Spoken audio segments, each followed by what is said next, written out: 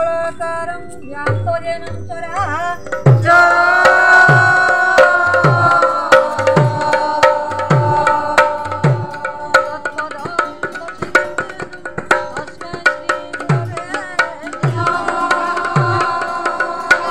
ସମଗ୍ର ପଶ୍ଚିମ ଓଡ଼ିଶାରେ ନୂଆଖାଇ ଗଣପର୍ବ ଭାବରେ ପାଳିତ ହୋଇ ଆସୁଛି ଧାର୍ଯ୍ୟ ଲଗ୍ନ ଅନୁସାରେ ପୂର୍ବାହ୍ନ ଦଶଟା ସମୟରେ ସମସ୍ତ ଦେବୀଙ୍କଠାରେ ନୂଆ ଲାଗି ଅନ୍ନ ହୋଇଥିଲା ଚାଷୀ ତାର ପ୍ରଥମ ଅନ୍ନକୁ ନିଜର ଇଷ୍ଟ ଦେବୀ ଦେବତାଙ୍କୁ ଅର୍ପଣ କରିଥାଏ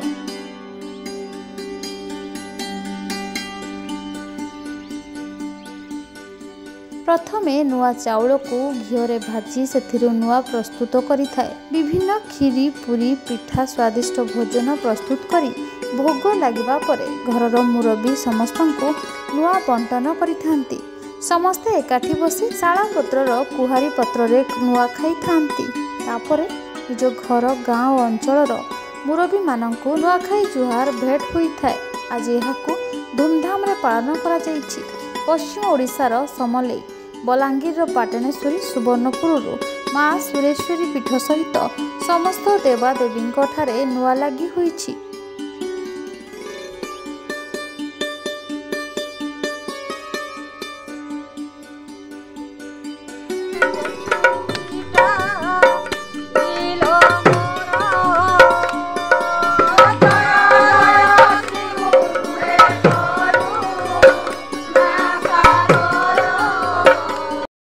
ହେଉଛି ଗୋଟେ କୃଷିଭିତ୍ତିକ ପର୍ବ ଏବଂ ପ୍ରାକୃତିକ ପର୍ବ।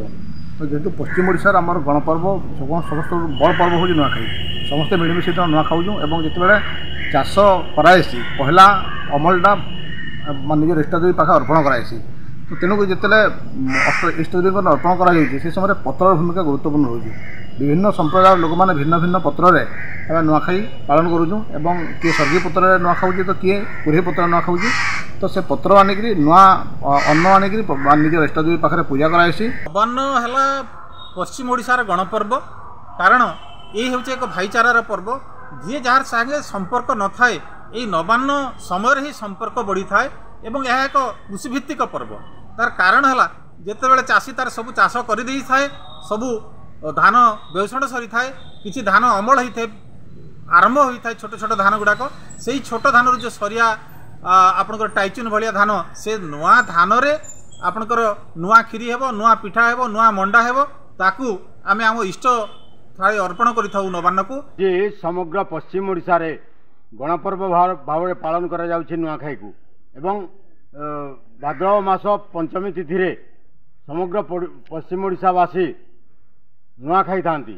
ଏହି ନୂଆଖାଇ ଦିନ ତାଙ୍କର ଯେଉଁ କଷ୍ଟଲବ୍ଧ ଉତ୍ପାଦନ ଯେଉଁ ଧାନକୁ ପ୍ରଥମ ଅର୍ଘ୍ୟ ଭାବରେ ନିଜର ଦେବୀ ଏବଂ ଦେବତାକୁ ଅର୍ପଣ କରିଥାନ୍ତି। ଆଜି ପଶ୍ଚିମ ଓଡ଼ିଶାର ସମ୍ବଲପୁରରେ ମା ସମଲେଇ ଭବାନୀପାଟଣାରେ ମାଣିକେଶ୍ୱରୀ ପାଟଣାଗଡ଼ରେ ପାଟଣେଶ୍ୱରୀ ଏବଂ ସୁରେଶ୍ୱରୀ ଦେବୀଙ୍କୁ ତାଙ୍କର ପ୍ରଥମ ଅର୍ଘ୍ୟ ଭାବରେ ନୂଆ ଧାନକୁ ଅର୍ପଣ କରିଥାନ୍ତି।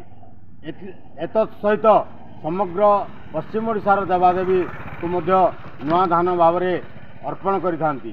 ସେହି କ୍ରମରେ ସୁବର୍ଣ୍ଣପୁର ଜିଲ୍ଲାର ବାବା ଚମ୍ପେଶ୍ୱରଙ୍କ ପୀଠରେ ଆଜି ପୂର୍ବାହ୍ନ ଦଶ ଘଣ୍ଟା ସମୟରେ ନୂଆ ଲାଗି ହେଇଥିଲା।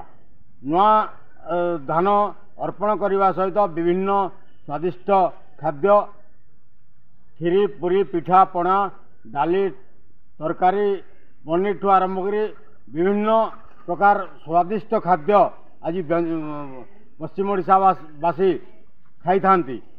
ଯିଏ ଯେଉଁଠି ଥିଲେ ମଧ୍ୟ ସେ ନୂଆଖାଇ ଦିନ ନିଜ ଘରକୁ ଆସେ ଏବଂ ପରିବାରର ଯିଏ ମୁରବୀ ଥାଆନ୍ତି ନିଜର ଇଷ୍ଟଦେବୀ ଦେବତାଙ୍କୁ ନୂଆ ଲାଗି ପରେ ସେ ପରିବାରର ସମସ୍ତ ସଦସ୍ୟଙ୍କୁ ନିଜ ହସ୍ତରେ ନୂଆ ଅର୍ପଣ କରନ୍ତି। ସୁବର୍ଣ୍ଣପୁରରୁ ଈଶ୍ୱର ତାଙ୍କ ରିପୋର୍ଟ କାମିୟାବ ଟିଭି।